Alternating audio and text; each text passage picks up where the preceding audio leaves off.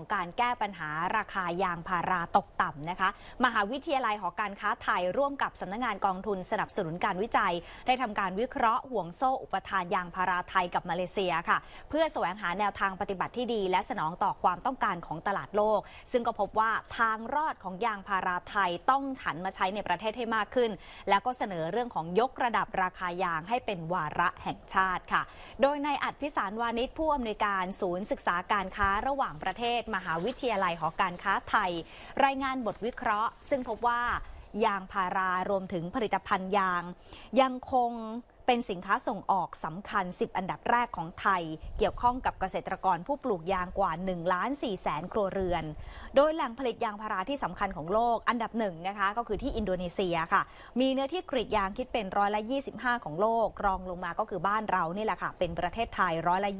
22 และมาเลเซียอยู่ที่ร้อยละ 7.3 ซึ่งจากปริมาณผลผลิตยางของไทยที่ยังสูงเกินเป้า ขณะที่ผลผลิตต่อไร่กลับลดต่ำลง และมีสัดส่วนการใช้ในประเทศเพียงร้อยละ 14.2 ที่เหลือร้อยละ86 เนี่ยส่งออกทั้งหมด ก็ส่งผลให้ประเทศผู้ซื้อเป็นผู้กำหนดราคา เราก็เลยประสบปัญหาราคาตกต่ำทุกปีค่ะ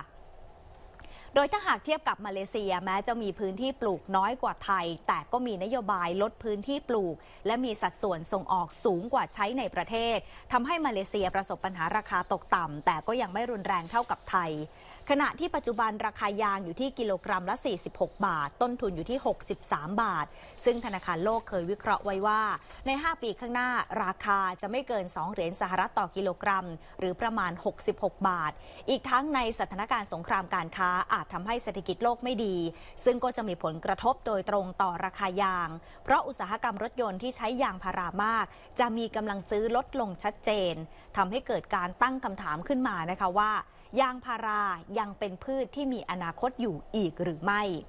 มหาวิทยาลัยหอการค้าไทยจึงได้เสนอแนวทางแก้ปัญหาราคายางพาราให้เป็นวาระแห่งชาติค่ะ โดยมีประเด็นสำคัญอย่างเช่น จะต้องเพิ่มสัดส่วนการใช้ยางพาราในประเทศให้มากขึ้น และลดพื้นที่ปลูกลงอย่างน้อยร้อยละ 30 ต้องปรับโครงสร้างหน่วยงานยางพาราของประเทศให้เป็นเอกภาพ เพื่อให้การดำเนินนโยบายเป็นไปในทิศทางเดียวกัน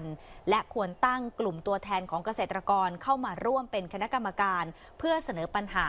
พัฒนาระบบฐานข้อมูล Big Data ยางพาราทั้งในและต่างประเทศให้มีความทันสมัยค่ะ